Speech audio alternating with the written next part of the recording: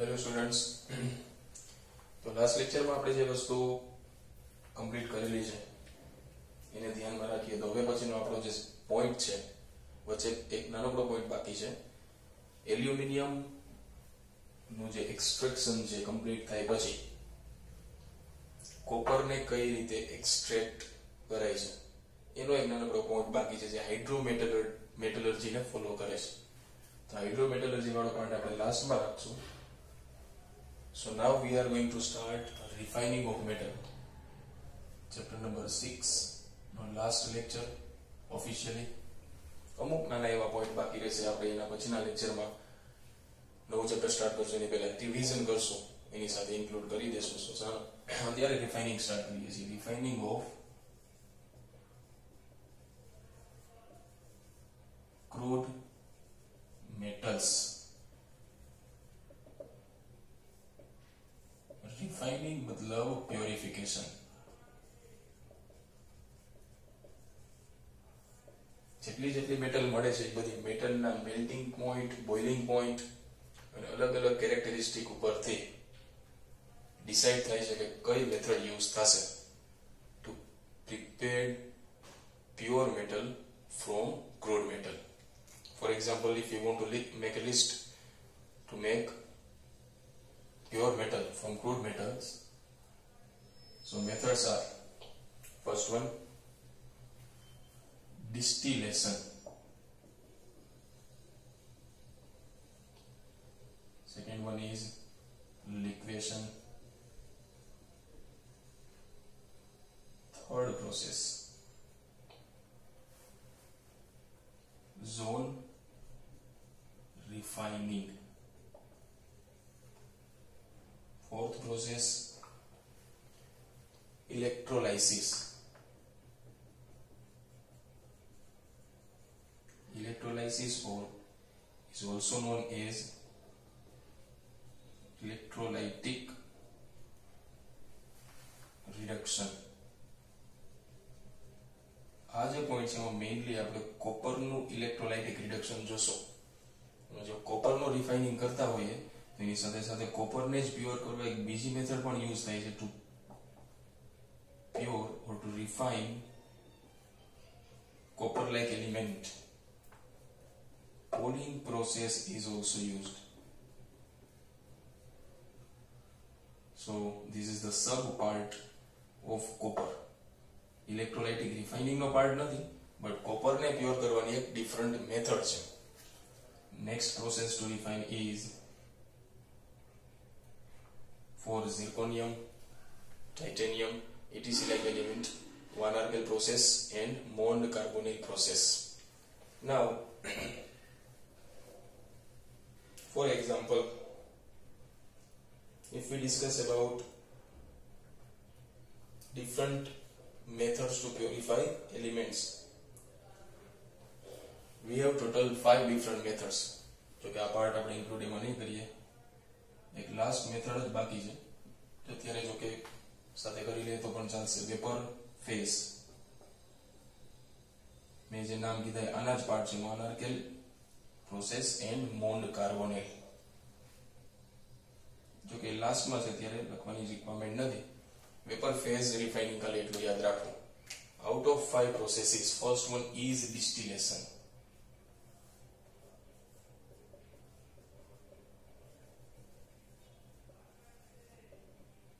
બધી પ્રોસેસમાં કોઈક ને કોઈક પ્રિન્સિપલ હશે ફોર એક્ઝામ્પલ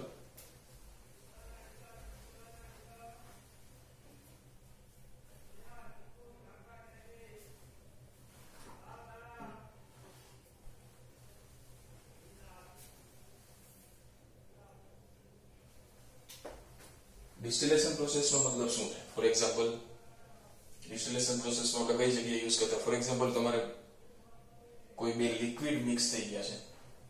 આ મિક્સ થયેલા લિક્વિડને તમારે જો સેપરેટ કરવા હોય તો એ જગ્યાએ આપણે લિક ડિસ્ટિલેશન પ્રોસેસનો યુઝ કરતા. જનરલ ડિસ્ટિલેશન કે અલગ અલગ ટાઈપના સેપરેટ ડિસ્ટિલેશનના અમુક મેથડ વાઇઝ તબક્કા પણ હતા. ફોર એક્ઝામ્પલ કોઈ એવા બે લિક્વિડ મિક્સ થયેલા છે કે જેના બોઇલિંગ પોઈન્ટનો ડિફરન્સ લાર્જ છે, તો એ જનરલ ડિસ્ટિલેશન થઈ ગયું. પણ જો એવા બે લિક્વિડ મિક્સ થઈ જાય છે કે જેના બોઇલિંગ પોઈન્ટનો ડિફરન્સ વેરી લેસ છે. તો એમાં તમારે અલગ અલગ ડિસ્ટિલેશનના ટાઈપ યુઝ કરવા પડે. જનરલ ડિસ્ટિલેશનથી ના ચાલે લિક્વિડને અલગ કરવા. તો એ ફ્રેક્શનલ એસન ડિસ્ટિલેશન ટાવરનો યુઝ કરવો પડે કે પછી ફ્રેક્શનલ એસન ડિસ્ટિલેશન કોલમનો યુઝ કરવો પડે. તો આ જે ડિસ્ટિલેશન એમાં પણ લિક્વિડ જ ચાલશે. That means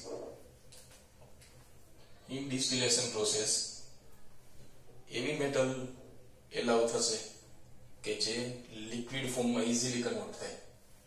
અને જો લિક્વિડ ફોર્મમાં ઇઝીલી કન્વર્ટ થાય ધેટ મીન્સ મેટલના લિક્વિડમાંથી તમારે ગેસમાં કન્વર્ટ કરવા માટેના બોઇલિંગ પોઈન્ટ લો રાખવા પડશે. ધેટ મીન્સ ડિસ્ટિલેશન પ્રોસેસનું મેઇન લોજિક કે પછી એવી મેટલ્સ એમાં વધારે સુટેબલ થશે કે જેના બોઇલિંગ પોઈન્ટ લોવર છે. એનું રીઝન કે જે લિક્વિડ ફોર્મમાં મેટલ હશે એ ઇઝીલી તમારે વેપર ફોર્મમાં કન્વર્ટ કરવી પડે એમ છે. તો વેપર અલગ અલગ ટેમ્પરેચર ઉપર અલગ અલગ સ્ટેપ વાઇઝ ડિસ્ટ્રીબ્યુશન થશે. So in distillation process, principle is metals having low boiling point. Can refine by this process. Example યાદ રાખવા પણ ઇઝી છે.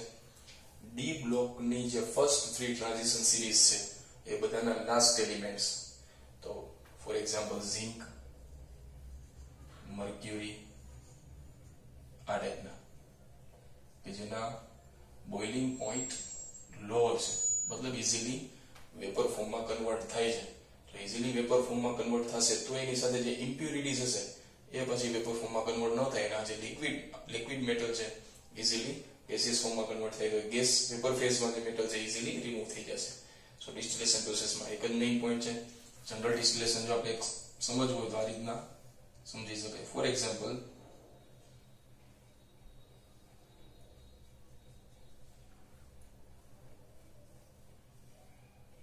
let we have a mixture of two liquid A and B. There is a large difference between boiling point of A and B. For example, boiling point of A is 50 degrees Celsius and boiling point of B is let 120 degrees Celsius. So when we heat this mixture, element having 50 degrees Celsius boiling point will easily vaporize and convert into vapor and leave the test tube from these delivery tube into the another vessel which is connected to condenser. This condenser make this vapor liquid. This vapor element or compound તમે જે કાંઈ પણ late કરો છો into liquid form condense કરી અને second વેસલમાં ફરીથી તેને લિક્વિડ ફોર્મમાં કલેક્ટ કરશે. સો આ થઈ ગયું liquid of A it means જે ફર્સ્ટ વેસલ હતું, એમાં એ પ્લસ બી મિક્સરના ફોર્મમાં છે. તમે હીટ આપો છો, એનું વેપોરાઇઝેશન થઈ ડિલિવરી ટ્યુબમાંથી પાસ થઈ કન્ડેન્સરમાંથી પાસ થઈ કન્ડેન્સરમાં કાર્બન ડાયોક્સાઇડ સોલિડ ઓર આઈસનો યુઝ થાય છે વેપરને કન્ડેન્સ કરવા અને પછી vapour once again convert into liquid તો એ એન્ડ બી લિક્વિડ આ રીતના અલગ થઈ શકે. સેમ પ્રોસેસ યુઝ થાય છે ડિસ્ટિલેશન પ્રોસેસમાં where metal can be distilled from each other or impurities એમાં તમે કોન્સેપ્ટ એ રીતના લગાડી શકો કે ફોર એક્ઝામ્પલ ઝિંકનું લિક્વિડ છે કે પછી મર્ક્યુરી એ ઓરિજિનલી લિક્વિડના ફોર્મમાં છે. તો એના જે લિક્વિડમાં કોઈ ઇમ્પ્યુરિટી છે, એ ઇમ્પ્યુરિટી વોલેટાઇલ નથી, મતલબ વેપોરાઇઝેબલ નથી. કે પછી એના બોઇલિંગ પોઈન્ટ હાઈ છે, તો પછી મેટલનું જ વેપરમાં કન્વર્ઝન થશે. આ જે વેપર છે કન્ડેન્સરમાંથી પાસ થઈને ફરી પાછું લિક્વિડમાં આવશે અને as it is impurity original test ટ્યુબમાં રહેશે. So this is the principle of distillation વધારે એમાં એક્સપ્લેન કરવાનું છે નહીં. આટલી જ વસ્તુ યાદ રાખવાનું. Distillation is applied only on the element having low boiling point now second is liquation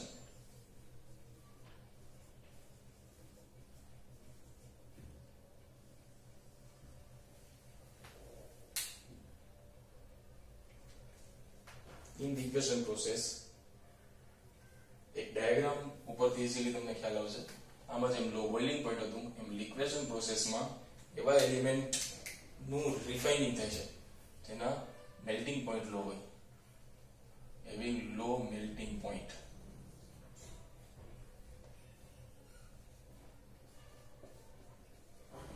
Example લઈએ આપણે ડાયાગ્રામ ઓબ્ઝર્વ કરી લેજો અને મેથડ શું છે ફર્નેસોનો જ એક પાર્ટ છે.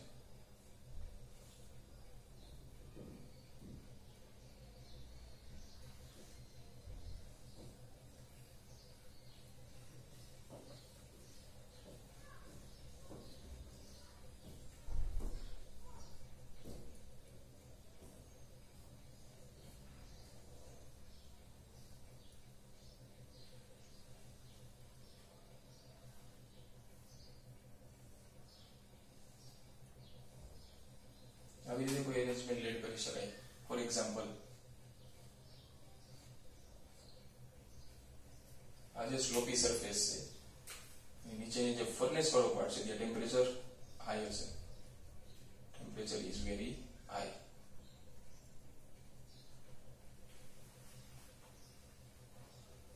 From the upward direction, we allow charge or impure metal or crude metal crude metal मतलब metal plus impurity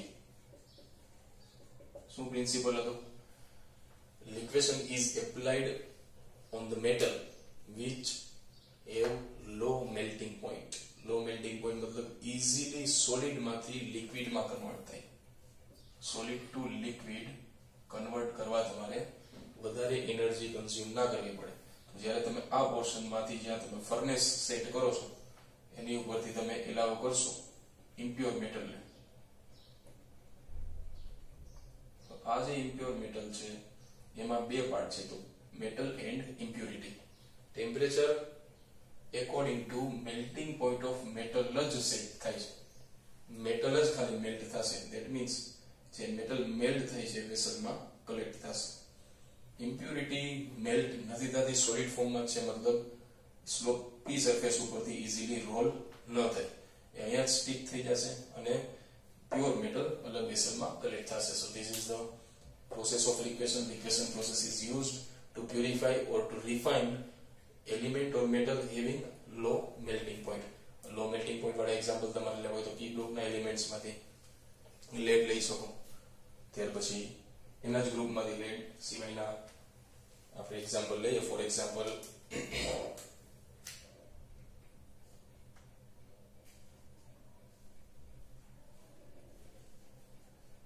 ટીન લઈ શકાય લેડ લઈ શકાય એક્ઝામ્પલ જેના મેલ્ટિંગ પોઈન્ટ લોવર છે for example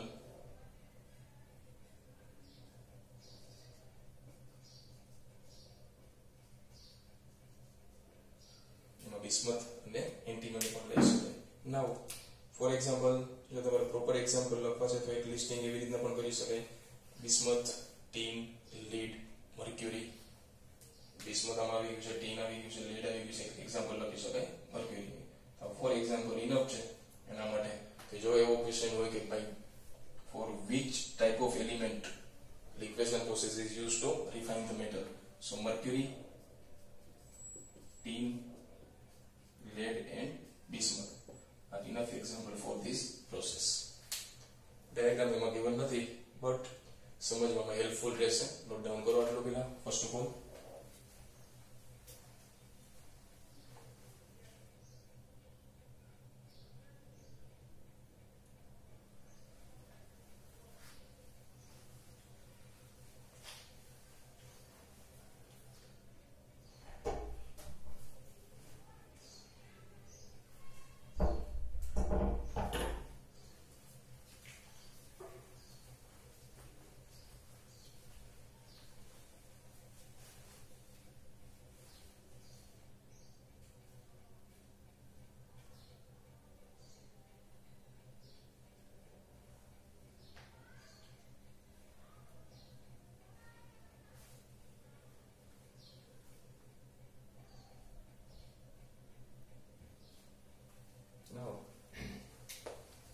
Now, zone refining most important first two એટલું બધું importance નથી બટ તો પણ એક્ઝામ્પલના પોઈન્ટ ઓફ વ્યૂથી આ ક્વેશ્ચન પૂછી શકાય zone refining process is specially applicable for જો આને એક્ઝામ્પલ યાદ રાખવાની બધાની અલગ અલગ ટીપ છે ડિસ્ટિલેશનમાં મેં તમને કીધું એમ ટ્રાન્ઝેક્શન સિરીઝના ત્રણે ત્રણ ટ્રાન્ઝેક્શન સિરીઝના લાસ્ટ એલિમેન્ટ લઈ લેવાના છે લિક્વેશન જે આપણે એક્ઝામ્પલ હમણાં કીધું એ પી બ્લોકના ત્રણ એલિમેન્ટ લાઈનમાં છે બધા એન્ડ એક મર્ક્યુરી સ્પેશિયલી લિક્વિડ ફોર્મમાં છે તો ઇઝીલી રિફાઇન થશે zone refining is specially applicable for semi metals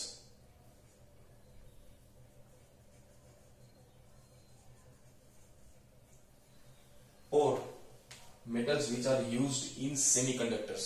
Example હમણાં આપણે સેટ કરીએ પેલા પ્રોસેસ શું છે જોઈ લઈએ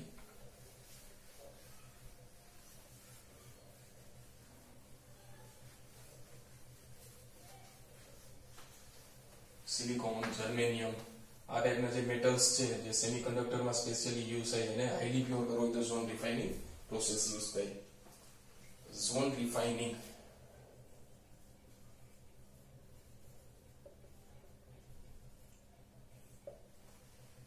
શું પ્રિન્સિપલ શું છે? પેલા એ નોટ ડાઉન કરજો.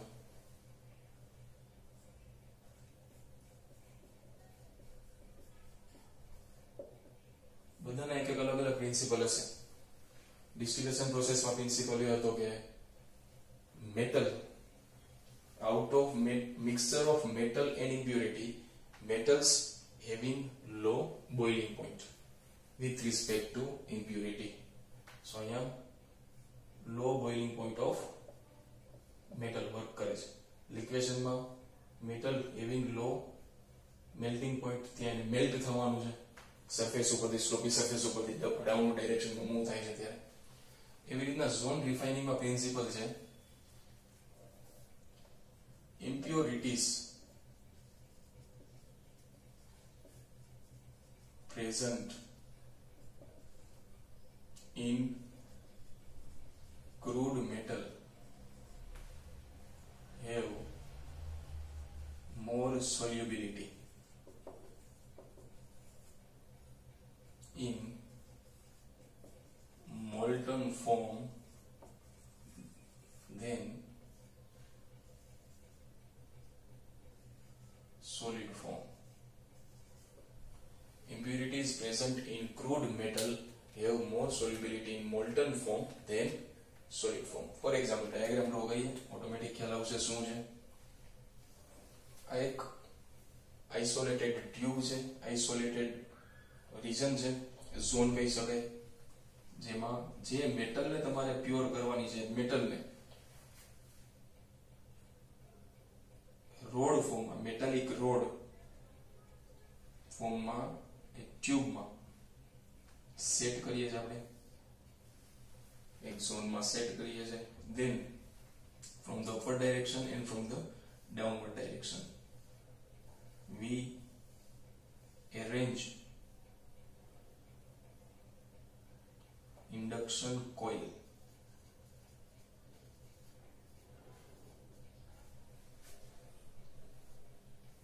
what is the function of induction coil to increase temperature and to melt metal present inside the tube or inside the zone in the form of rod. You see why?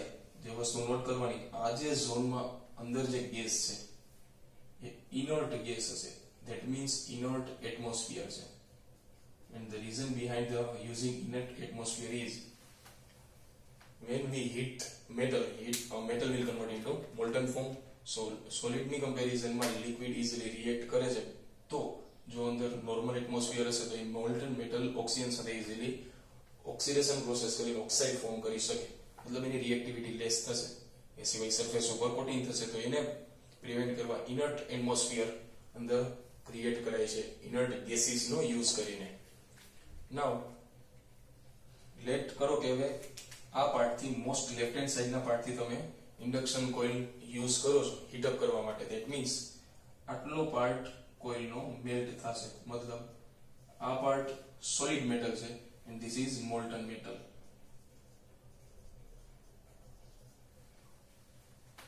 molten metal આટલા પાર્ટમાં form થઈ જાય છે પછી. હવે તમે induction કોઇલને right hand સાઈડના પાર્ટમાં મૂવ કરાવશો. લેટ કરો કે થોડી વાર પછી induction coil left to right move કરે છે.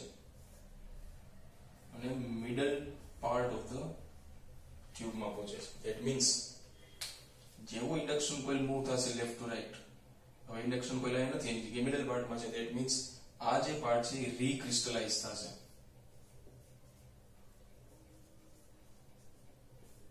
મતલબ જે લિક્વિડ ફોર્મમાં મેટલ કન્વર્ટ થઈ હતી હવે ક્રિસ્ટલાઇઝેશન સોલિડ ફોર્મમાં કન્વર્ટ થશે અને રીક્રિસ્ટલાઇઝેશન થશે. એની જગ્યાએ જે આ પાર્ટ છે એનું મેલ્ટ થવાની શરૂઆત થશે. વિચારજો વ્યવસ્થિત ફર્સ્ટ ઓફ ઓલ તમે induction coil most left hand સાઈડના પાર્ટમાં રાખો છો. તે જગ્યાએ સોલિડ મેટલ કન્વર્ટ થાય છે લિક્વિડ મોલ્ટન ફોર્મમાં ત્યારે remaining all portion of the metallic rod is in the solid form move induction coil from left to right slowly so after this movement next in the next part metallic rod will convert it uh, from solid to molten form of metal આટલો થઈ ગયા પછી જે જગ્યાએથી તમે induction કોઇલને આગળ move કરો છો, એ પાર્ટ લિક્વિડમાંથી રીક્રિસ્ટલાઇઝેશન થઈને પાછું સોલિડમાં કન્વર્ટ થશે. હવે આ પાર્ટ જે સોલિડમાં કન્વર્ટ થાય છે, એમાં જે ઇમ્પ્યુરિટી છે, એનો નેચર શું હતો? Impurities present in the crude metal have more solubility in molten form તો આ જગ્યાએ તો હવે મોલ્ટનમાંથી સોલિડ થઈ જવાનું છે. એના પછીનો જે ઝોન છે, એના પછીનો જે પાર્ટ છે, એ હવે સોલિડમાંથી મોલ્ટન થવાનો એનો મતલબ impurity will shift towards right hand side with induction coil તો આ પાર્ટ જો ફરી પાછું ફોર એક્ઝામ્પલ આપણે રિપીટ કરીએ, અત્યારે હવે આ સોલિડ ફોર્મમાં છે, મતલબ ઇમ્પ્યુરિટી આ પાર્ટમાં શિફ્ટ થઈ છે જો ઇન્ડક્શન કોઇલને તમે રાઈટ હેન્ડ સાઈડમાં શિફ્ટ કરો છો લેટ કરો કે ઇન્ડક્શન કોઇલ અહીંયા છે. તો ઇન્ડક્શન કોઇલ જે જગ્યાએ છે, એ પાર્ટ હવે મોલ્ટન ફોર્મમાં છે. અને એની આગળનો જે પાર્ટ હતો, એ સોલિડ ફોર્મમાં કન્વર્ટ થવાની શરૂઆત કરશે સ્ટાર્ટ ટુ રીક્રિસ્ટલાઇઝ તો અહીંયા જે ઇમ્પ્યોરિટીઝ હતી ઓટોમેટિકલી આ પાર્ટમાં શિફ્ટ થઈ જશે. તો આ પ્રોસેસ તમે ઘણી બધી વાર કરશો. એ પ્રોસેસ કરતા કરતા ઇમ્પ્યુરિટીઝ બધી રાઈટ હેન્ડ સાઈડના પાર્ટમાં કલેક્ટ થશે. અને આ પાર્ટ અહીંથી કટ થઈ જશે. ધેટ મીન્સ ઇમ્પ્યુરિટીને તમે એના નેચર વાઇઝ શિફ્ટ કરતા જાવ છો. ફરી પાછું એકવાર. Initially we have a rod with metal and impurity.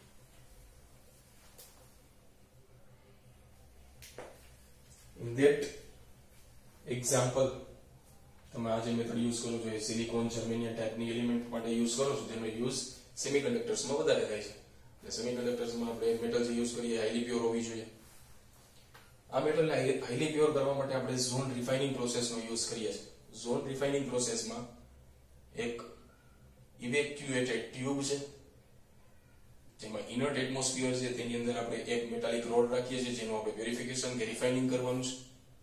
એની અંદર જે ઇમ્પ્યુરિટી છે, એનો નેચર છે કે એ જે ઇમ્પ્યુરિટી છે મેટલના મોલ્ટન ફોર્મમાં વધારે ડિઝોલ્વ થાય કે સોલ્યુબલ થાય. So we arrange induction coil around the tube જે ઇન્ડક્શન કોઇલ જે જગ્યાએ હશે એનું ટેમ્પરેચર ઇન્ક્રીઝ થશે ધેટ મીન્સ મોલ્ટન ફોર્મમાં મેટલ કન્વર્ટ થશે. ત્યાર પછી, જો ઇન્ડક્શન કોઇલ તમે રાઇટ હેન્ડ સાઈડમાં શિફ્ટ કરશો તો એના પછીનો પાર્ટ મોલ્ટન ફોર્મમાં કન્વર્ટ થશે. બટ આગળનો જે મોલ્ટન મેટલ વાળો ફોર્મ પાર્ટ હતો, એ હવે રીક્રિસ્ટલાઇઝ થવાની શરૂઆત કરશે. એનું ક્રિસ્ટલાઇઝેશન થશે. બટ મેટલના જ પાર્ટિકલ મેટલના જ એટમ્સનું ક્રિસ્ટલાઇઝેશન એરેન્જમેન્ટ થાય. એમાં જે ઇમ્પ્યુરિટી છે એ સોલિડ ફોર્મમાં સ્ટેબલ નથી. સોલિડ ફોર્મમાં ડિઝોલ્વ નથી થતી. ધેટ મીન્સ એ લિક્વિડ ફોર્મમાં કે મોલ્ડન ફોર્મમાં જવા ટ્રાય કરશે. ધેટ મીન્સ તે ધીમે ધીમે રાઈટ હેન્ડ સાઈડમાં શિફ્ટ થશે. જેમ જેમ ઇન્ડક્શન કોઇલ રાઇટ હેન્ડ સાઈડમાં શિફ્ટ થાય છે. અને જ્યારે ઇમ્પ્યુરિટી સાવ લાસ્ટ પાર્ટમાં કલેક્ટ થાય છે મેટાલિક રોડના ત્યાંથી તેને કટ ઓફ કરીએ, એટલે ઇમ્પ્યુરિટી ત્યાંથી રિમૂવ થઈ જાય. બાકીનો જે પાર્ટ છે એ પ્યોર થશે.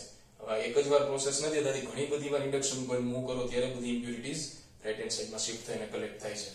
So this is the main part of the zone refining explanation એકવાર વ્યવસ્થિત રીડ કરી જાઓ ત્રણ વસ્તુઓમાં ઇમ્પોર્ટન્ટ છે. એક તો principle of the zone refining કે કયા પ્રિન્સિપલ ઉપર આ વર્ક કરે છે? એક તેનો ડાયાગ્રામ આ two mark or three mark no most important question છે. ડાયાગ્રામ જો તમને ખબર હશે અને એનો પ્રિન્સિપલ ખ્યાલ હશે, તો પછી તેનું એક્સપ્લેનેશન ઇઝી છે. જે તમે ડાયાગ્રામ ઉપરથી રીડ કરો છો, જે તમે ડાયાગ્રામ ઉપરથી મનમાં વિચારો છો, એ જ વસ્તુ તમારે ઇન સાયન્ટિફિક લેંગ્વેજ એક્સપ્લેન કરવાની છે પેપરમાં and for last most important is examples silicon, germanium which are used in semiconductors are the element or metal which can be refined by zone refining process. Next is electrolysis or electrolytic reduction.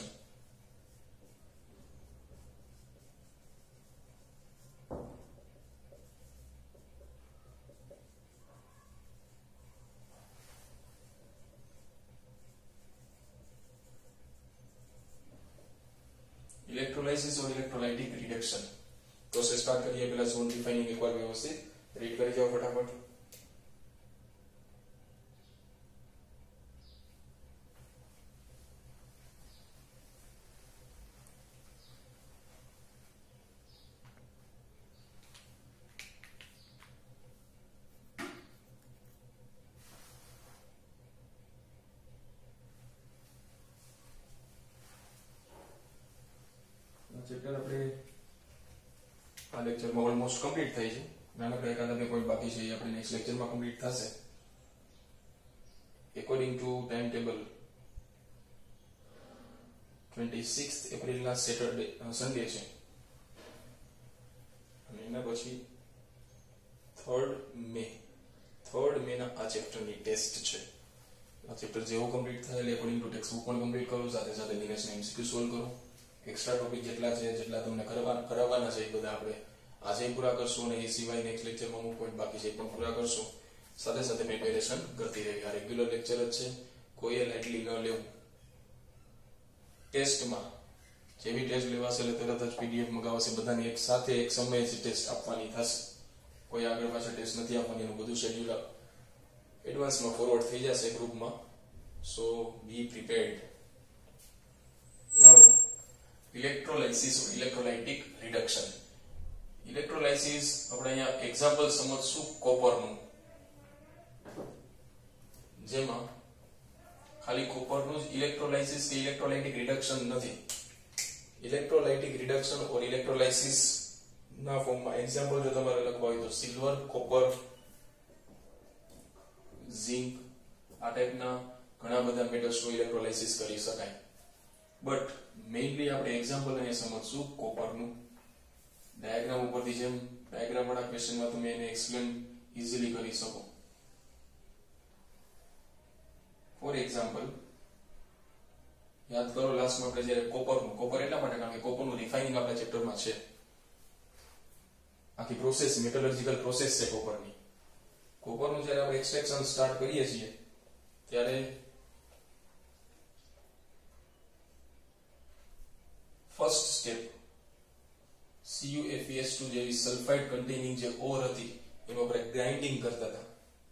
Grinding મતલબ પાવડરિંગ કરતા હતા. પાવડરિંગ થઈ ગયા પછી sulphide containing ore એટલે froth flotation froth flotation process નો use કરીને આપણે એનું કોન્સન્ટ્રેશન કરીએ, મતલબ ગેઇન પાર્ટિકલ રિમૂવ કરીએ છીએ. ઓરનું કોન્સન્ટ્રેશન થાય છે ઓરનું પ્રોપોર્શન ઇન્ક્રીઝ થાય.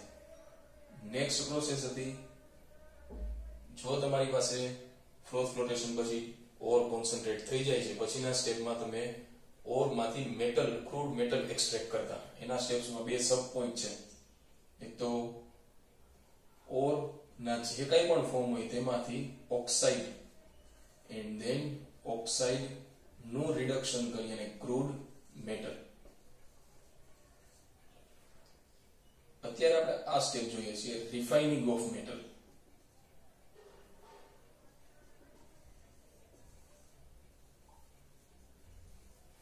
અહીંયા સુધી તો આપણે કોપર માટે અમે કમ્પ્લીટ કરી લીધું froth flotation for sulphide containing ore કારણ કે કોપર CuFeS2 માંથી જ એક્સટ્રેક્ટ થાય છે કોપર પાયરાઇટમાંથી કઈ રીતના એનું ઓક્સાઇડ ફોર્મેશન થાય છે Cu2O અને પછી સેલ્ફ રિડક્શન કે ઓટો રિડક્શનમાંથી એને ક્રૂડ મેટલ બ્લિસ્ટર કોપર આપણને મળે છે.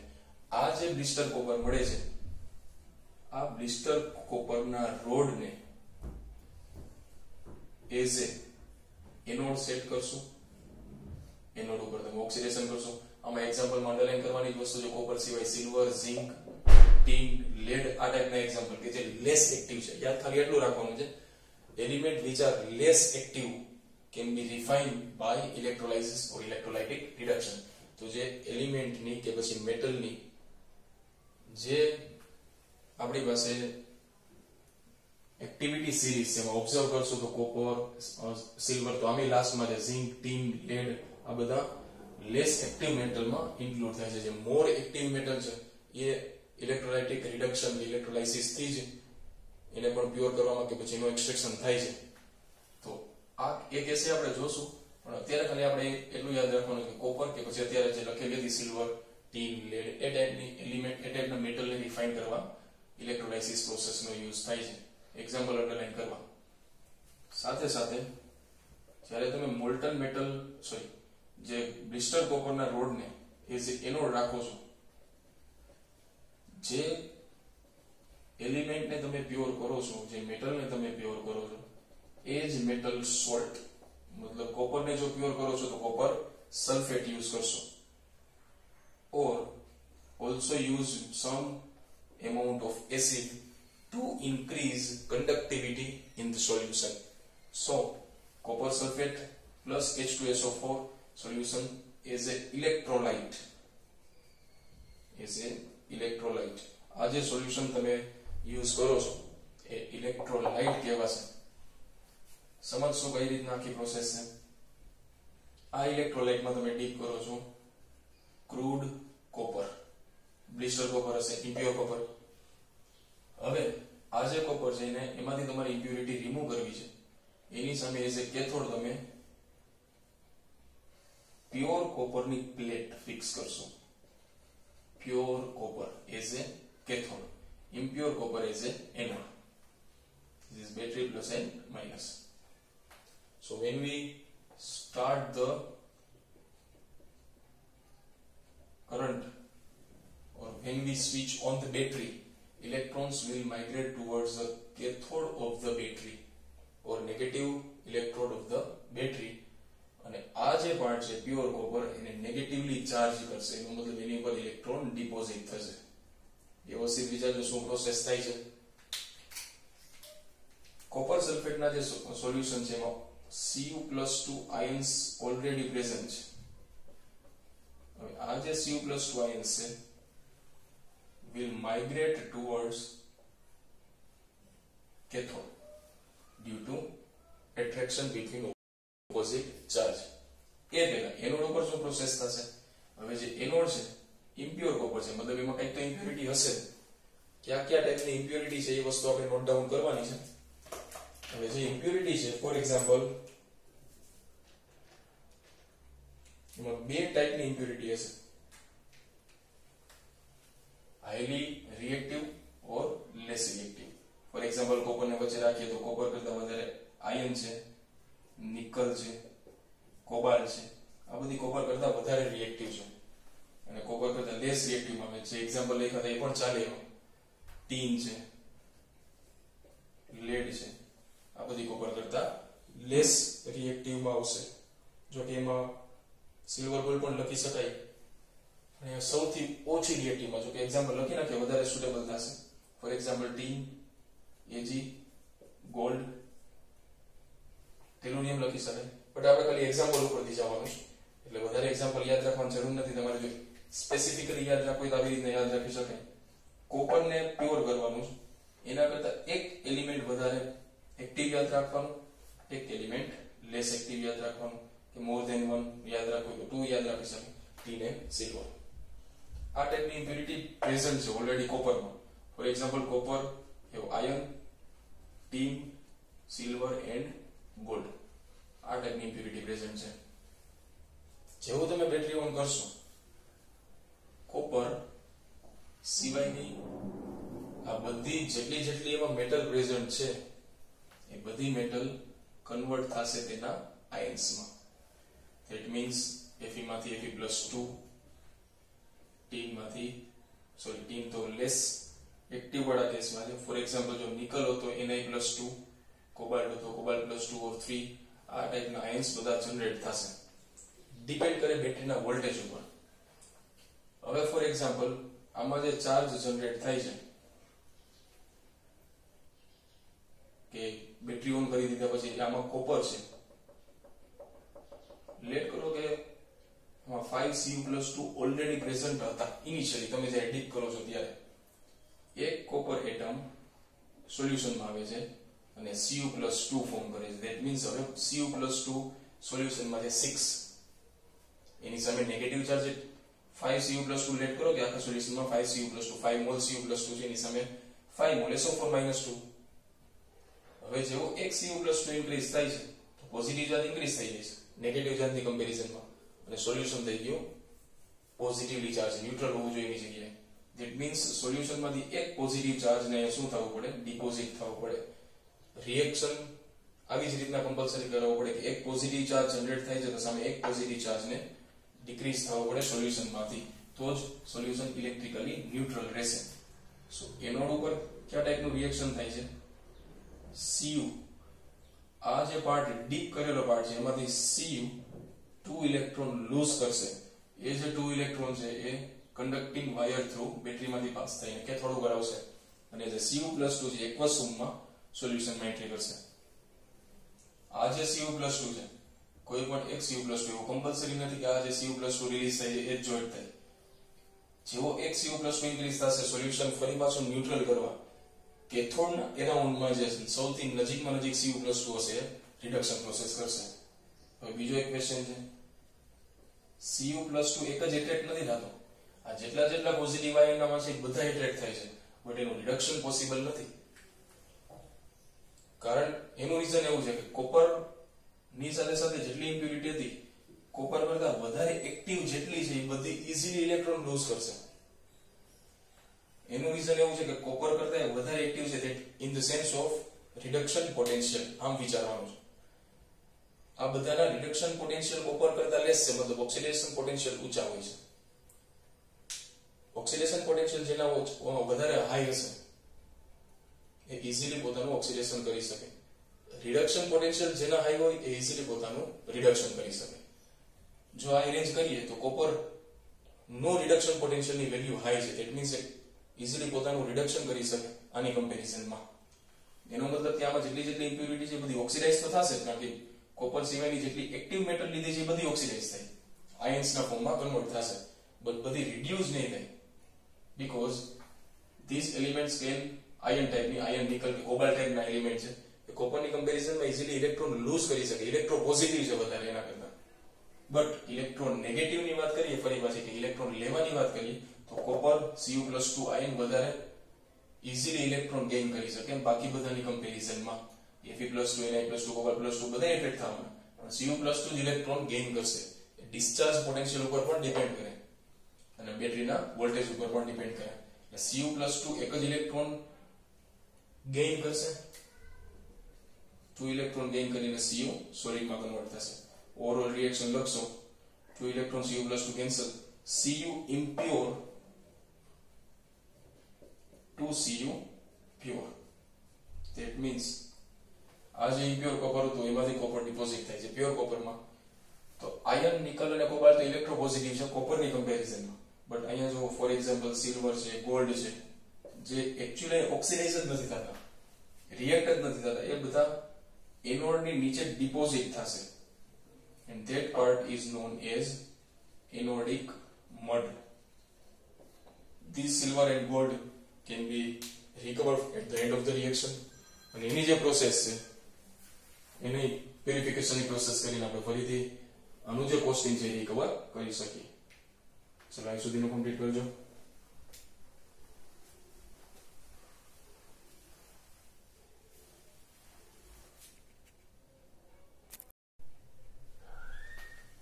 So, in electrolysis or electrolytic reduction આપણે જે વસ્તુ યાદ રાખવાની મેં તમને કીધી એ રીતે કે જો કોપરનું તમે ઇલેક્ટ્રોલાઇટિક રિડક્શન કે પછી ઇલેક્ટ્રોલાઇસિસ કરતા હોય બે વસ્તુ યાદ રાખવાની કે ઇમ્પ્યોર કોપરમાં કોપર કરતા ઇલેક્ટ્રોપોઝિટિવ પણ પ્રેઝન્ટ છે અને કોપર કરતા લેસ ઇલેક્ટ્રોપોઝિટિવ પણ એલિમેન્ટ પ્રેઝન્ટ છે.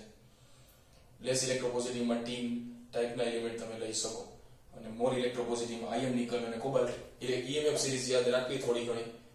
ટેન ટુ ફિફ્ટીન એલિમેન્ટ્સ ને ઓટોમેટિક બધા ક્વેશ્ચન સોલ્વ થશે. જો કોપરને તમારે પહેલેથી પ્રોસેસ સ્ટાર્ટ કરીએ છીએ કોપરનું ઇલેક્ટ્રોલાઇસિસ તમે કરો છો ધેટ મીન્સ ઇલેક્ટ્રોલાઇસિસ પ્રોસેસમાં સૌથી પહેલા જે એલિમેન્ટને તમારે રિફાઇન કરવાની છે, એ જ એલિમેન્ટના સોલ્ટ સોલ્યુશન એઝ ઇલેક્ટ્રોલાઇટ લેવાનું છે. વેસલમાં એમાં ઇમ્પ્યોર કોપર મતલબ બ્લિસ્ટર કોપર ને તમે ડીપ કરો છો and set as a anode મતલબ બ્લિસ્ટર કોપરને બેટરીના પોઝિટિવ ટર્મિનલ સાથે જોઈન્ટ કરશો સેકન્ડ જે એલિમેન્ટને તમે પ્યોર કરવાના છો એનો એક part pure part as cathode dip કરશો બેટરી સાથે જોઈન્ટ કરશો નેગેટિવ ટર્મિનલ સાથે બેટરી ઓન કરશો કરંટ પાસ કરશો થ્રુ ધ ઇલેક્ટ્રોલાઇટ એટલે આ ટાઈપની સિસ્ટમ જનરેટ થશે કે જે પ્યોર કોપર છે, એ કોપરમાંથી કોપર એટમ અને એ સિવાયના ઇલેક્ટ્રોપોઝિટિવ એલિમેન્ટ્સ કે જે વધારે રિએક્ટિવ છે કોપર કરતા પણ, મતલબ લેસ એનર્જી સાથે પણ એક્ટ કરે છે. એવા એલિમેન્ટ ઇઝીલી કોપરના રોડમાંથી ઇલેક્ટ્રોન લૂઝ કરીને સોલ્યુશનમાં આવશે. હવે આ સલ્ફેટ સોલ્યુશન હતું. જેટલા, વિચારજો વ્યવસ્થિત. Equivalent word is important in this case જેટલા પોઝિટિવ આયન્સ ડિપોઝિટ થશે સોલ્યુશનમાં લેટ કરો કે 5 positive ion Fe2 Ni2 cobalt 2 અને 2Cu2 ડિપોઝિટ થાય છે સોલ્યુશનમાં તો એના ઇક્વિવેલન્ટ પોઝિટિવ ચાર્જ ફરી પાછા સોલ્યુશનમાંથી ડિપોઝિટ થવા જોઈએ કેથોડ ઉપર જો 5 પોઝિટિવ આયન્સ આવે છે, તો 5Cu2 ને પાછું ડિપોઝિટ થઈ જવું પડે. 5Cu2 2 ઇલેક્ટ્રોન્સ ગેઇન કરી કેથોડ ઉપર અને કોપર સોલિડમાં ડિપોઝિટ થશે. એઝ એ કોપર સોલિડ અહીંયા ડિપોઝિટ થશે. ધેટ મીન્સ એનોડના જે કોપરનું જેનું વેઇટ કોન્સ્ટન્ટલી ડિક્રીઝ થવાનું ને કેથોડના જે કોપરનું વેઇટ છે કોન્સ્ટન્ટલી ઇન્ક્રીઝ થવાનું છે. એ સિવાય જે એલિમેન્ટ ઇમ્પ્યુરિટીના ફોર્મમાં એનોડ ઉપર પ્રેઝન્ટ છે. કોપર સાથે. જેનું રિડક્શન થાય છે. મતલબ ફોર એક્ઝામ્પલ અહીંયા ટીન હોય is a impurity but less active with respect to copper less active with respect to copper હશે, એનું ઓક્સિડેશન થશે. Antimony selenium tellurium but oxidation થયા પછી તેનું ફરી પાછું રિડક્શન ના થાય. રિડક્શન પોટેન્શિયલની વાત કરો તો કોપરનું રિડક્શન પોટેન્શિયલ એ બધા કરતા વધારે હશે. જેનો રિડક્શન પોટેન્શિયલ વધારે હોય, એનું જ રિડક્શન પોસિબલ બને. મતલબ એ બધા આયનો જે અહીંથી એકચ્યુઅલી મોર ઇલેક્ટ્રોપોઝિટિવ હતા. એ પોઝિટિવલી ચાર્જમાં કન્વર્ટ થશે અને લેસ ઇલેક્ટ્રોપોઝિટિવ હતા. એ બધા અહીંયા એલિમેન્ટ ના ફોર્મમાં રહેશે રોડ ઉપર.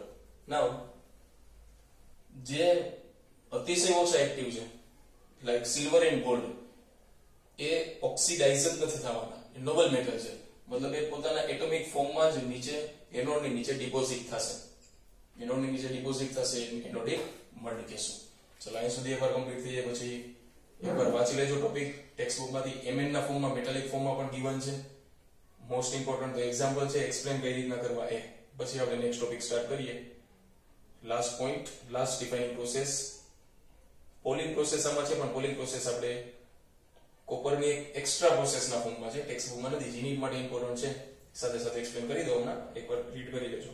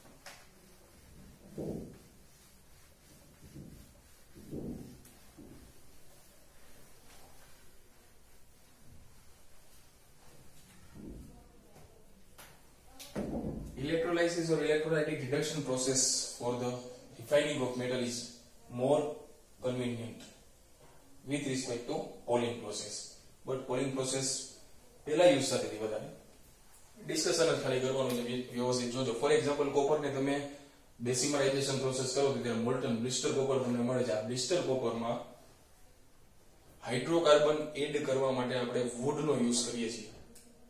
ગ્રીન વુડ ગ્રીન વુડમાં હાઇડ્રોકાર્બન વધારે હોય છે. હાઇડ્રોકાર્બન પાર્ટ તો આ જે હાઇડ્રોકાર્બન પાર્ટ છે, કોપરની અંદર રહેલી જે ઇમ્પ્યુરિટીઝ છે મોલ્ટન કોપરની, એની સાથે પ્રોસેસ કરશે. Hydrocarbon as a reducing agent work કરે છે. મતલબ, બીજાનું રિડક્શન કરશે, પોતાનું ઓક્સિડેશન કરશે. તો જે ઇમ્પ્યુરિટી પ્રેઝન્ટ છે મોલ્ટન કોપરમાં, એ ઇમ્પ્યુરિટીઝ ઓટોમેટિકલી રિમૂવ થઈ જશે કોપરમાંથી. બટ એમાંથી જે આપણને કોપર મળશે, એની પ્યોરિટી એટલી બધી નથી જેટલી ઇલેક્ટ્રોલાઇસિસમાં મળે. ઇલેક્ટ્રોલાઇસિસમાં 99 ટુ 98 પર્સન્ટ or 99.99% જેટલું હાઈલી પ્યોર કોપર મળે. 99.95 ટુ 99.99% સો પોલિંગ પ્રોસેસમાં એક વસ્તુ તમારે યાદ રાખવાની આફ્ટર ધ ડેસિમલાઇઝેશન જે મોલ્ટન કોપર બ્લિસ્ટર કોપર મળે છે એમાં આપણે ગ્રીન વુડનો યુઝ કરીએ. છીએ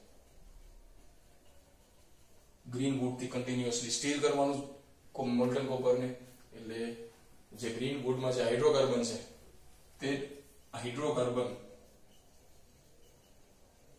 will react with impurities present in the blister copper and that blister copper will be partially pure with respect to blister copper. Now, last process vapor phase refining.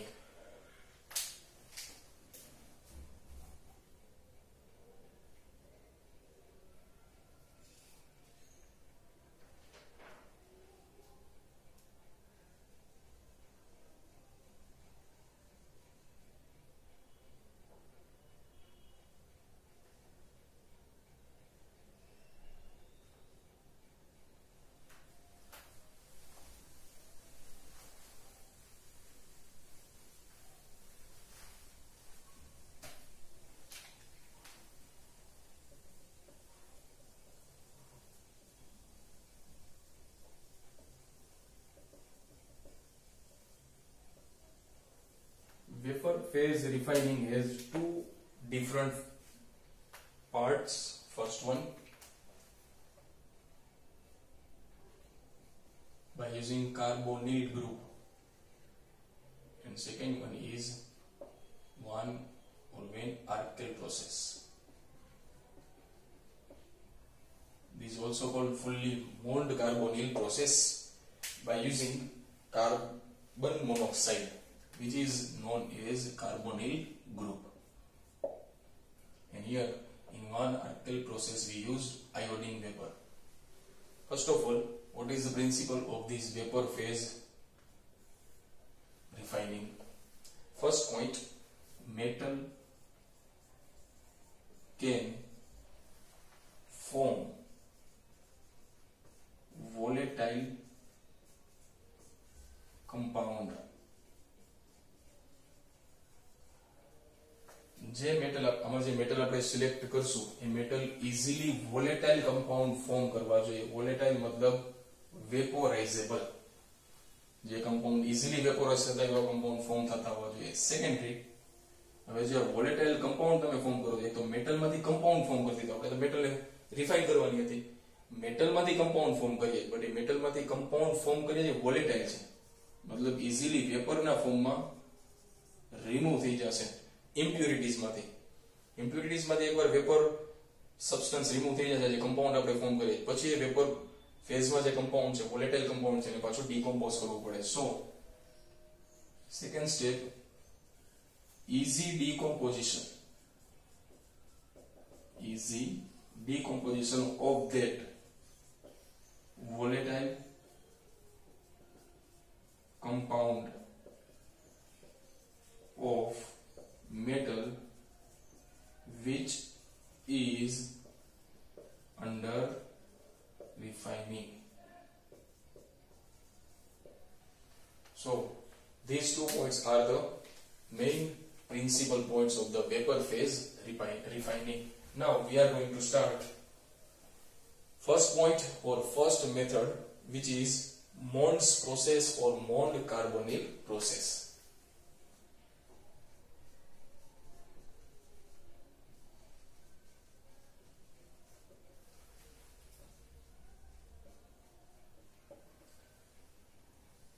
as we di- discussed earlier in non-carbonyl process we will use carbonyl group CO group. This process is specifically used for the elements like nickel and iron. But we have examples of nickel in our textbook. So in first step according to these two steps we will follow this me- method. In first step nickel which is in the solid form will react with carbon monoxide to form tetracarbonyl form of the nickel this compound is complex compound ligand છે અને ligand metal ને electron donate કરે so nickel tetracarbonyl is the name of this compound but અત્યાર પૂરતું એમાં ખાલી underline કરજો છે ત્યારે આપણે બાકી છે એટલે so this is the first step metal can form volatile compound અહીંયા જે ટેમ્પરેચર હશે લોઅર હશે સેકન્ડ સ્ટેપ કરતા કારણ કે કમ્પાઉન્ડ ફોર્મ થાય છે કમ્પાઉન્ડ ફોર્મ થાય એના કરતા કમ્પાઉન્ડ ડીકોમ્પોઝ થશે ત્યારે તમારે હીટ વધારે યુઝ કરવી પડશે સો in first step temperature must be lower and is according to data if we see nickel plus carbonyl groups carbon monoxide will form NiCO4 at 50 to 90 Kelvin temperature now this compound is volatile volatile मतलब gaseous form easily vaporizable and in second step nickel tetracarbonyl is heated at high temperature around 400 to 500 Kelvin and is decomposed in nickel and carbon monoxide if we balance 4 carbon monoxide this nickel is present as a solid form so what is the basic difference between these two nickels this is impure reason એવું હતું કે આની સાથે જે impurity present છે, આ જ reaction તમે આવી રીતના આયન માટે લખી શકો બટ રિક્વાયરમેન્ટ નથી. ખાલી યાદ રાખજો, Mond carbonic process is used for nickel and iron both nickel carbon monoxide સાથે રિએક્ટ કરે છે. પહેલેથી જ કેમિકલી પ્રૂવન હોવું જોઈએ કે બીજી કોઈ ઇમ્પ્યુરિટીઝ કાર્બન મોનોક્સાઇડ સાથે રિએક્ટ કરીને વોલેટાઇલ કમ્પાઉન્ડ ફોર્મ ના કરે. નિકલ સાથેની જે ઇમ્પ્યુરિટીઝ છે, એ કાર્બન મોનોક્સાઇડ સાથે રિએક્ટ નથી કરતી. ખાલી નિકલ જ રિએક્ટ કરે છે અને NiCO4 ફોર્મ થાય છે. After that NiCO4 decompose to give Ni plus 4 CO. ચલો અહીંયા ટેમ્પરેચરમાં કેલ્વિનની જગ્યાએ ડિગ્રી સેલ્સિયસ બનાવજો ટેક્સ્ટબુકમાં જેવો એવી રીતના નોટ કરજો અહીંયા temperature may be 200 to 300 degree Celsius 100 to 200 જેવું છે નોટ ડાઉન કરજો ટેમ્પરેચર જો કે ટેમ્પરેચર એટલું બધું ઇમ્પોર્ટન્ટ નથી બટ તો પણ જ્યાં સુધી બને ત્યાં સુધી ટેમ્પરેચર કેટલાલીસ આ બધું ધ્યાનમાં રાખો મોન કાર્બોનિલ પ્રોસેસ એનું ફર્સ્ટ સ્ટેપ નિકલના એક્ઝામ્પલ સાથે આપણે કમ્પ્લીટ કર્યું નિકલ આયર્ન આ ટાઈપની એલિમેન્ટ એમાંથી રિફાઇન કરી શકે second if you want to use second method, which is one arkel process, one arkel process is actually process to refine zirconium type element.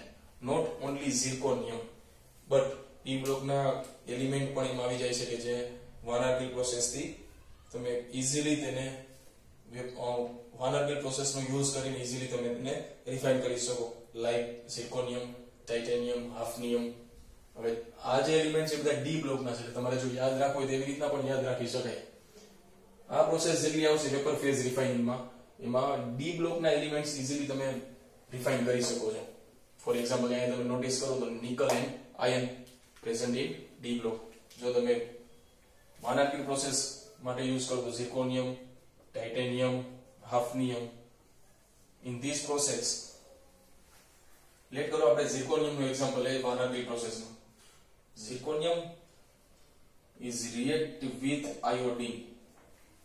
હવે જે ઇનિશિયલ ટેમ્પરેચર છે એનું લોઅર છે સેકન્ડ ટેમ્પરેચર કરતા. Second reaction જે ડીકોમ્પોઝિશનનું છે.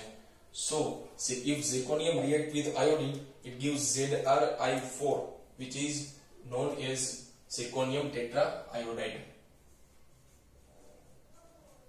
Temperature તમારે નોટિસ કરવાનું સાથે સાથે, એ જ એક લાઈન અંડરલાઈન કરવાની છે. ફર્સ્ટ રિએક્શન ના ટેમ્પરેચર નો, મતલબ આયોડાઇડ ના ફોર્મેશનમાં જે ટેમ્પરેચર એના કરતા ડીકોમ્પોઝિશનનું ટેમ્પરેચર ઘણું બધું હાયર છે. અને એમાં એક પોઈન્ટ યાદ રાખવાનો 1800 ડિગ્રી સેલ્સિયસ વાળો. મતલબ આ પ્રોસેસમાં તમે એ જ મેટલનું રિફાઇનિંગ કરી શકો કે જેના મેલ્ટિંગ પોઈન્ટ 1800 ડિગ્રી સેલ્સિયસ કરતા હાઈ હોવા જોઈએ. મતલબ કારણ કે સેકન્ડ રિએક્શનમાં તમે આ જે વોલેટાઇલ કોમ્પોનન્ટ ફોર્મ થાય છે ગેસિયસ ફેઝમાં ZrI4 ટંગસ્ટનના ફિલામેન્ટ ઉપર તમે એને ડિપોઝિટ કરવાના. મતલબ ZrI4 કારણ કે ટંગસ્ટન એક એવી મેટલ જેનું મેલ્ટિંગ પોઈન્ટ ઘણું બધું હાયર છે. તો ZrI4 એની ઉપર ડિપોઝિટ થશે અને એરાઉન્ડ 1800 ડિગ્રી સેલ્સિયસ ઉપર ઝિર્કોનિયમ આયોડિન ફરી પાછા રિલીઝ થશે. એની જેમ જ. સેમ મેથડ છે. નવીન કાંઈ નથી એમાં. ઝિર્કોનિયમ અહીંયા ઇમ્પ્યોર હતું કે ઝિર્કોનિયમ જેવી મેટલ ટાઇટેનિયમ એન્ડ હાફનિયમ આ ઇમ્પ્યોર મેથડમાંથી આયોડિન સાથે રિએક્ટ ઝિર્કોનિયમ કરવું જે ઇમ્પ્યોરિટીઝ એની અંદર જો હોય acidic impurity for example SiO2 એ ટાઈપની હોય કે હોય કે પછી કોઈ બેઝિક ઇમ્પ્યુરિટી હોય મેટલ ઓક્સાઇડની તો એ આયોડિન સાથે રિએક્ટ ના કરવી જોઈએ. ZrI4 ફોર્મ થવું જોઈએ, જે વોલેટાઇલ છે. મતલબ easily vapour form convert create કરે છે. આ જે ZrI4 છે, એને ઇઝીલી ટંગસ્ટનના ફિલામેન્ટ ઉપર ડિપોઝિટ થવા દેવામાં આવે છે. ટંગસ્ટનના ફિલામેન્ટ ઉપર ડિપોઝિટ થાય, પછી તમે કરંટ પાસ કરશો. હાઈ ટેમ્પરેચર 1800 ડિગ્રી સેલ્સિયસ જેટલું. ત્યારે ZrI4 ડીકોમ્પોઝ થશે zirconium and iodine gas release થઈ જાય છે તો અહીંયા ઝિર્કોનિયમ જે તમને મળે છે પ્યોર મળે છે અહીંયા જે હતું એ ઇમ્પ્યોર મળે છે આમાં ઓક્સિજન નાઇટ્રોજન જેવી ઇમ્પ્યુરિટીઝ તમે ઇઝીલી રિમૂવ કરી શકો છો અન્ડરલાઈન કરી લેજો ટેક્સ્ટબુકમાં ઇમ્પોર્ટન્ટ પાર્ટ છે અને એક પોઈન્ટ આ યાદ રાખવાનો ફર્સ્ટ રિએક્શનમાં ટેમ્પરેચર લેસ હશે ડિકોમ્પોઝિશન સેકન્ડમાં કરવાનું એમાં ટેમ્પરેચર હાઈ હશે આ જે મેથડ છે એમાં તમે રિફાઇનિંગની એવી એવી પ્રોસેસમાં એવી જ મેટલ યુઝ કરશો કે જેના મેલ્ટિંગ પોઈન્ટ 1800 ડિગ્રી સેલ્સિયસ કરતા ઓલવેઝ હાઈ હોવા જોઈએ. ચલો અહીં સુધી નોટ કરો નોટ ડાઉન કરો અને ટેક્સ્ટબુકમાં લાઈન ટુ લાઈન ટ્રીટ કરી લો એકવાર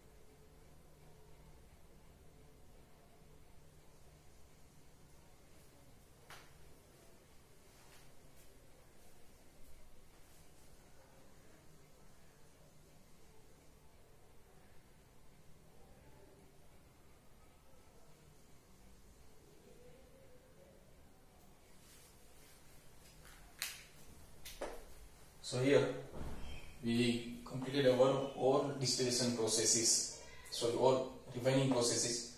First distillation principle માં low boiling point વાળા metals three જે series એના last elements liquation low melting point વાળા third zone refining specifically applicable for our semiconductor જે સેમિકન્ડક્ટરમાં જે એલિમેન્ટ્સ યુઝ થાય છે મેટલ્સ યુઝ થાય છે ઇલેક્ટ્રોલાઇસિસ ફોર એક્ઝામ્પલ કોપરનું આપણે જે એક્ઝામ્પલ લીધું છે, એ ટાઈપના અને પછી, એમાં, એનો એક કોપરને જ સ્પેશિયલ આ જે પોઈન્ટ છે પોલિંગ પ્રોસેસ એ સ્પેશિયલી કોપર માટે જ છે, બીજા કોઈ માટે નથી. પોલિંગ પ્રોસેસમાં જે એકવાર પાછું કહી દઉં છું બ્લિસ્ટર કોપર તમને મળી જાય પછી એના જે સોલ્યુશન બ્લિસ્ટર કોપર જે લિક્વિડ ફોર્મમાં મોલ્ટન ફોર્મમાં છે, એમાં તમે ગ્રીન વુડ ના પોલ એડ કરો છો, એટલે એને પોલિંગ પ્રોસેસ કહેવાય છે, થાંભલા, મોટા મોટા વુડ અને એનાથી એને કોપરને સ્ટીલ કરાય છે. તો એમાં જે ફોર એક્ઝામ્પલ ઓક્સાઇડ ટાઈપની કોઈ ઇમ્પ્યુરિટી હજી પ્રેઝન્ટ છે, કે જે રિમૂવ જ નથી થઈ રિડક્શન પ્રોસેસથી તો જે પોલમાં ગ્રીન વુડના પોલમાં જે હાઇડ્રોકાર્બન છે એ હાઇડ્રોકાર્બન એ ઓક્સાઇડને ઇઝીલી રિડ્યુસ કરી શકે. રિડક્શનથી બાકીના એલિમેન્ટ એમાંથી રિમૂવ થાય છે. આ પ્રોસેસ એક્સટર્નલી યાદ રાખવાની વેપર ફેઝ વેપર ફેઝ રિફાઇનિંગમાં બે મેઇન પોઈન્ટ છે metal can easily form vaporizable or volatile compound તો બે એક્ઝામ્પલમાં એ મેથડ કદાચ ગમે હોય બેમાંથી મોન્ડ કાર્બોનિક પ્રોસેસ છે કે પછી વાન આર્કિલ પ્રોસેસ છે, બેમાં ફર્સ્ટ સ્ટેપ એ જ છે. જે મેટલને તમે પ્યોરિફાય કરો છો કાં તો કાર્બન મોનોક્સાઇડ સાથે વોલેટાઇલ કમ્પાઉન્ડ ફોર્મ કરવો જોઈએ છે આયોડિન સાથે વોલેટાઇલ કમ્પાઉન્ડ ફોર્મ કરવો જોઈએ સેકન્ડ સ્ટેપમાં main point is easy decomposition of that volatile compound volatile compound form થઈ જાય એટલું જ રિક્વાયર્ડ નથી વોલેટાઇલ કમ્પાઉન્ડ ફોર્મ થઈ જાય જો પાછું ડીકોમ્પોઝ ન થાય તો નકામું છે વોલેટાઇલ કમ્પાઉન્ડ ફોર્મ થવો જોઈએ અને સાથે સાથે તેનું ઇઝી ડીકોમ્પોઝિશન થવું જોઈએ ઇઝી ડિકોમ્પોઝિશન થશે તો જ આપણને પાછું મેટલ મળશે રિફાઇનિંગની લાસ્ટ પ્રોસેસ જે આપણે ઓર્ગેનિકના એક પાર્ટમાં ઓર્ગેનિકના ચેપ્ટરમાં ગીવન છે. એટલે એ જે પોઈન્ટ છે, તમને ટેક્સ્ટબુકમાં પણ શોર્ટમાં કરીને એક નોટિસના ફોર્મ આપી દીધું કે ભાઈ ઓર્ગેનિકમાં ચેપ્ટર છે ઓર્ગેનિકના પોઈન્ટમાં છે, એટલે અત્યારે ડિસ્કસ આપણે નથી કરતા. તો ઇલેવન્થના ઓર્ગેનિકમાં આપણે છે ને ચેપ્ટરમાં એ વસ્તુ એક્સપ્લેન કરેલી જ છે. એટલે વ્યવસ્થિત એમાં પણ આપણે પાછી ફરી પાછું ઇનકમ્પ્લીટ ચેપ્ટર હોય તો એ પણ કમ્પ્લીટ કરશું ઓર્ગેનિકમાં એ જે રિફાઇનિંગની પ્રોસેસ છે ક્રોમેટોગ્રાફી અલગ અલગ ટાઈપની બધી ક્રોમેટોગ્રાફી એમાં ગીવન છે કે ક્યાં ક્યાં ટાઈપની ક્રોમેટોગ્રાફીથી આપણે મેટલને પ્યોરિફાઈ કે રિફાઇન કરી શકીએ. સો આ તો રિફાઇનિંગનો પોર્શન હવે એડિશનલમાં જે પાર્ટ આપણે બાકી છે એ leaching of silver and gold આપણી પાસે ટેક્સ્ટબુકમાં એકોર્ડિંગ ટુ ટેક્સ્ટબુક જીનીટમાં પૂછાઈ શકે એવા ક્વેશ્ચનમાં બધું મોસ્ટલી આવી ગયેલું છે ટોટલી એકોર્ડિંગ ટુ ટેક્સ્ટબુક જોઈએ તો extraction of copper iron copper zinc and aluminium textbook read કરશો એટલે તમને લાગશે કે આટલું જ છે એમાં. આના સિવાયનું નથી પણ ઇનડાયરેક્ટલી તમને ગોલ્ડ અને કોપર સોરી સિલ્વરનું સિલ્વર એન્ડ ગોલ્ડનું એક્સટ્રેક્શન આપી દીધું છે. ભલે આ ખાલી લીચિંગ ફોર્મમાં છે, એનું પ્યુરિફિકેશન નથી આપેલું. એનું પ્યોરિફિકેશન એટલી બધી રિક્વાયરમેન્ટ નથી but total for according to NCERT અને સિલ્વર એન્ડ ગોલ્ડ સિલ્વર અને ગોલ્ડનું લીચિંગ આપણે કોન્સન્ટ્રેશન ઓફ ઓરમાં આવી ગયેલું છે. એટલે આ જે એડિશનલ પાર્ટ છે એ એ સિવાય જ્યારે આપણે એલ્યુમિનિયમનું એક્સટ્રેક્શન કરીએ છીએ, ત્યારે અને લીચિંગ પ્રોસેસ બેયમાં એક પ્રોસેસ આવે છે. એટલે આપણે એલ્યુમિનિયમના એક્સટ્રેક્શનમાં આપણે એ પ્રોસેસ નથી જોતા. કઈ હતી? બોક્સાઇટમાંથી એલ્યુમિના ફોર્મ કરવું બેયર પ્રોસેસ તો એલ્યુમિનિયમના બે પાર્ટ છે. એક તો એલ્યુમિનિયમનું લીચિંગથી તમે કોન્સન્ટ્રેશન કરો છો એલ્યુમિના ફોર્મ કરો છો, અને પછી એલ્યુમિનામાંથી ઇલેક્ટ્રોલાઇસિસ કે ઇલેક્ટ્રોલાઇટિક રિડક્શન કરીને એલ્યુમિનિયમ ગેઇન કરો છો તો એલ્યુમિનિયમની અલગ અલગ થ્રી ટાઈપના બોક્સાઇડ ફોર્મ થાય છે. અને અલગ અલગ થ્રી ટાઈપના બોક્સાઇડ માટે અલગ અલગ પેટર્ન આપણે યુઝ કરીએ, અલગ મેથડ યુઝ કરીએ. અત્યારે આપણે ખાલી એક જ જોઈ છે બેયર પ્રોસેસ એ સિવાયની બે પ્રોસેસ છે આપણે નેક્સ્ટ લેક્ચરમાં જોશું. આખું ચેપ્ટરનું એકવાર ફરીથી રિવિઝન કરશું. રિવિઝન કરેલા પછી નેક્સ્ટ સન્ડે પાછી આ ચેપ્ટરની ટેસ્ટ આવશે. ટેસ્ટ આવે ત્યારે એ પહેલા આપણે દિનેશના બધા એમસીક્યુ સોલ્વ કરી લઈએ અને ભેગા ભેગી ટેક્સ્ટબુક વ્યવસ્થિત આખી પૂરી કરી, એના જે એક્સરસાઇઝના ક્વેશ્ચન જે બધા સાથે સાથે પૂરા કરીએ, કોઈ ડાઉટ હોય તો તમે પૂછી શકો. અહીંયા આપણે આજનું લેક્ચર કમ્પ્લીટ કરીએ.